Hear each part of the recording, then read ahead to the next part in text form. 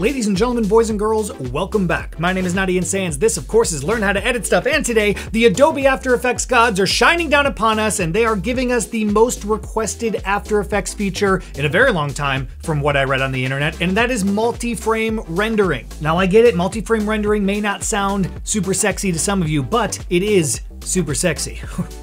And here's why. It will speed up your rendering performance no matter how good or bad your PC is. Obviously, the better your rig, the better your performance, but Adobe is not leaving the low spec PCs in the dark with this one. Now, as of today, the time that I am making this video, the time that you are watching me speak these words to you over the internet, multi-frame rendering is only available in After Effects beta, and it is only available via Rexport, via Rexport, via export via the newly renovated, newly updated render queue, which looks really awesome. The buttons are bigger, the buttons are rounder, and when you render, it shows a little blue bar, a little gray bar, and a little green bar to indicate multiple frames being rendered, which is a nice little added touch. Anyways, only available via export via the render queue right now, but the folks at Adobe have bigger plans for the future of multi-frame rendering, which includes previewing in your timeline in After Effects, dynamic link, and export out of Media Encoder as well. So very exciting future future plans for multi-frame rendering, but right now also exciting for multi-frame rendering on export via the render queue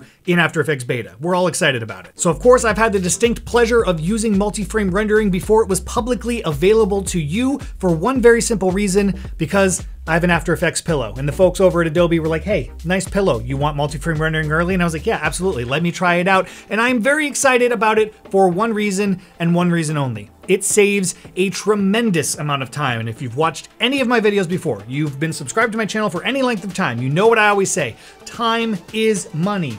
Money is time, and this saves a lot of time, so thank you Adobe and After Effects for the free cash. I appreciate it. Now, I'll admit, I have a pretty beefy PC. Here's the specs for those people that are wondering. I'll put it in the video description as well. But I might be a little biased when it comes to my multi-frame rendering tests, but so far I've been seeing at or above 2x in speed for all of my renders. So I am doubling the speed on almost everything, and in some cases almost quadrupling the speed for some of my renders. So it's been really, really awesome so far. So as part of the rollout, Adobe dished out this very beautiful looking test project as a benchmark test for multi-frame rendering, and my render time for this with multi-frame rendering enabled was 7 minutes and 1 second versus 12 minutes and 53 seconds with single frame rendering. When comparing exports side by side, there are zero visual rendering differences between the two exports. And here is another test I did with the squad intro for Team Liquid, which if you haven't seen it, it's a series of hand-drawn art layers with a 3D camera kind of pushing through with some effects, etc.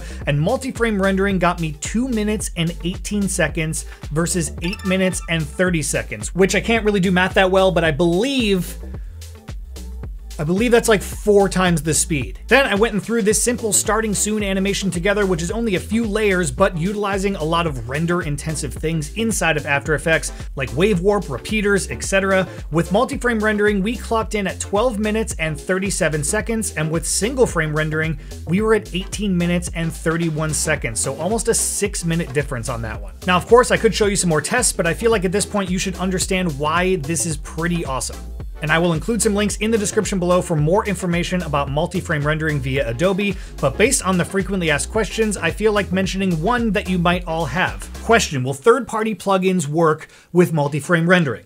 Answer. Adobe is working with several technology partners to ensure their plugins are optimized for multi-frame rendering. Now, obviously, Adobe can't guarantee that all third-party plugins will work, so if you go ahead and download After Effects Beta and you enable multi-frame rendering, and you're still seeing some slowdown somewhere, chances are it might be because that third-party plugin is not optimized completely for multi-frame rendering, so hang in there. It's a slow process. That's why it's coming out in beta, not being pushed in a public release, because Adobe wants more data, they want more people to test things, and they want to see how this feature works on a variety of different PC specs, but this is a very awesome step in a very awesome direction for speed. Well, that does it for today's video. Short, sweet, just delivering the news, you know, little little news update for you and learn how to edit stuff. By now, you should have gone and downloaded or updated After Effects Beta via the Creative Cloud app and opened it up. And you might have to enable multi-frame rendering. I don't know if it's going to be enabled via default because I have a pre-release version of it. But anyway, in my menu, you have to go to Preferences and then Memory and Performance, and then there's a little checkbox that says Activate Multi-Frame Rendering. So look out for that. Anyways, Thank you so much for watching this video. I really am excited for multi-frame rendering. I hope you are too. I am very much nerding out over this news from Adobe After Effects. If you haven't yet, please consider subscribing to my channel where you can find amazing tutorials for After Effects and Premiere and DaVinci Resolve and a bunch of fun editing stuff. And there's links in the video description below for you to support me, support yourself, support this channel. Give it a thumbs up, drop a comment in the comment section below, and I will see you in the next one.